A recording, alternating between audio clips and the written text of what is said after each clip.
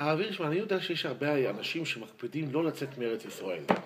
או, זה הרבה. כתוב בהלוכה, אסור לנסוע מהצורה לחוץ. נו.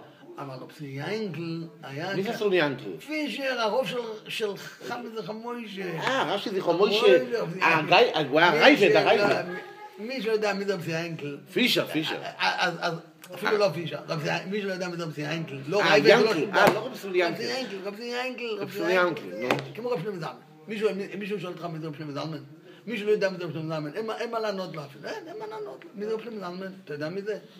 אותו דבר מי זה רבי ינקל. מישהו לא יודע מי זה רבי ינקל, אז שלא ידע, שלא ידע. בסדר, אבל יש אנשים שלא יודעים. אז לא, אז לא, שהם לא, אז אין מה להסביר, אין מה להסביר. אז מה יהיה רבי סוני ינקל? הוא לא יצא מירושלים אפילו. ירושלים?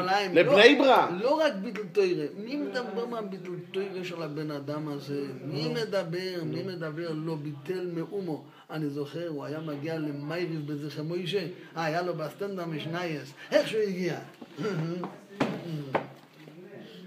איך שהוא הגיע? איך שהוא הגיע? איך שהוא הגיע?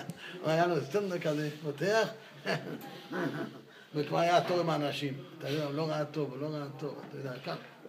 איך שהוא הגיע. אני רואה שעוד חודש עודר, חודש עודר. חוץ מביטל מה תוירה, חוץ מביטל תוירה, חוץ, אז הוא לא. יצא מירושלים. מי מדבר מביטל תוירה? ביטל תוירה אצלו היה, אני אומר, איך שהוא נכנס, איך שהוא נכנס, מיד הוציא, אפילו מתי שעוד הלך נבח את החמצן נבח. אפילו שהלך עם זה, איך שהוא הגיע. דבר ראשון.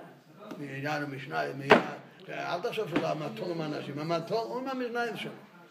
לא ביטל מאומה, לא ביטל.